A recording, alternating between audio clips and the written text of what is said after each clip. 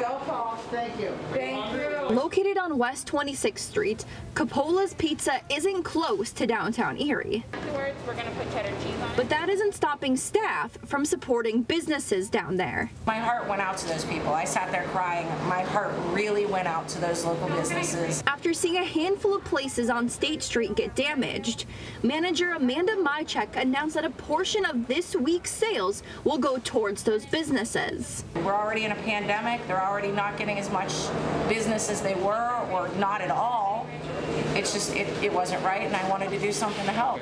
Thank you for calling Coppola's Erie. This is Amanda. Phones have How been ringing off the hook since the fundraiser was announced. Things got so busy, they even had to stop taking orders at one point just to catch up, and even ran out of supplies. We um, closed early Sunday because we, I don't get my truck till Tuesday, and we ran out of everything. We had no cheese, we had no chicken wings, we, we had nothing. A small business owner for more than a decade, Luke Andoraccio says this community support is unlike anything he's seen. Our oven's cooking 250 pies an hour, and tonight they couldn't keep up, and Sunday they couldn't keep up. So caught off guard, we weren't ready.